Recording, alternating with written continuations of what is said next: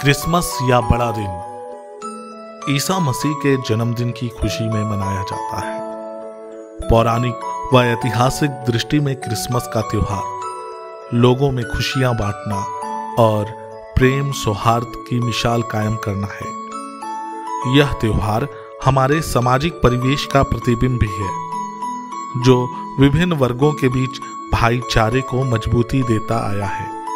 Christmas का अर्थ मानव मुक्ति और समानता है।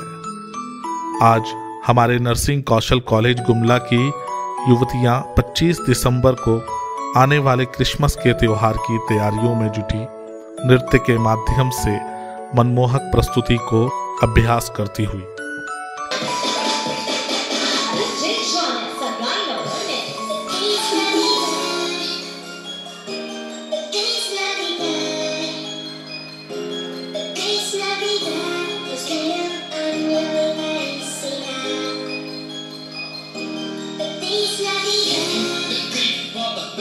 the